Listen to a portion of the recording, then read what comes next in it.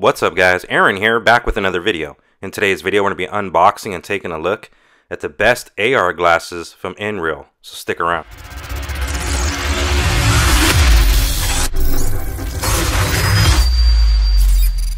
Welcome back guys, and I'm extremely excited to be bringing you my first video in a series of videos that I'm going to be doing on AR glasses. So these are the first AR glasses that I'm going to be reviewing.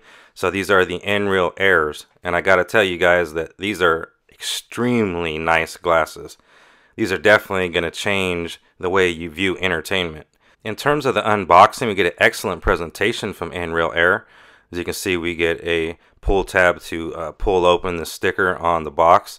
And we also get a box inside of the outer box, which again, we get an excellent presentation here as you can see. So we get a Nreal case. This is going to be the case that's going to house the AR glasses when you're not using them. We also get a microfiber cleaning cloth as well as a manual and some instructions to help you get up and running on these new Nreal Air AR glasses. Now, not only did Nreal Air include the AR glasses, but they also included some really helpful accessories inside of the box as well. So first off, you can see we have several different nose pieces and nose guards to help get a perfect fit on your nose. You also get this included template that you can take to an optometrist for prescription lenses. We also get this blackout screen. We'll talk more about that here in a second. Now unzipping the case itself, I have to say I'm extremely impressed with the presentation once again. The interior portion of the case is lined with an extremely soft microfiber material. And of course we get the Nreal Air AR glasses themselves. Now after taking the AR glasses out of the case, my first impressions are that they look extremely cool. And they do give off that normal sunglass vibe until you start turning them around. Then you can see that we definitely have something else going on here. You can see the OLED screens there on the back. And I have to say, guys, these are extremely nice. I can't stress that enough how nice these glasses are. It's really crazy to be in the infancy stages, in my opinion, of AR, just like we were in VR a couple years ago. So I'm really excited to be part of this. So we do have two speakers on each side of the frames that overlay your ears so you can hear audio. You also have two buttons on the side there. One's going to be to adjust the screen brightness and the other one's to actually turn off the displays if you want to just use them as normal glasses. Now these Nreal Airs offer a ton of features. So the Nreal Airs can be powered by your phone as well as powered by a PC or tablet.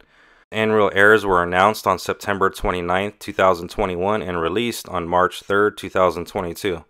They do feature bird bath optics, a native pass-through display type, which is a DX micro LED binocular.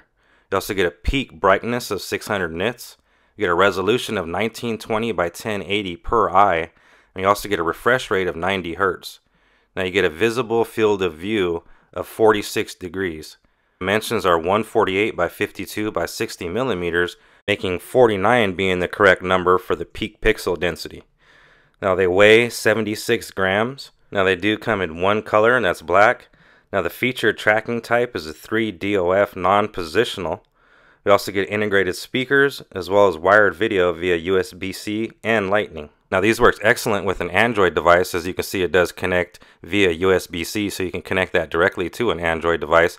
However, you can still connect it to an iPad Pro or the iPad 6 mini, which does have uh, USB Type-C charging ports. You can connect it to an iPhone, however, you do need an adapter that you'd have to buy separately. I do have that adapter coming, and I will be demonstrating in my full review exactly how these work. Now, if you're interested in picking up a pair of Nreal Airs, I will have the link down in the description. Now I just wanted to quickly touch bases again on some of the main features. So you do get a 201 inch TV display if you're connecting to an Android phone. You get a 130 inch display if you're mirroring to iOS.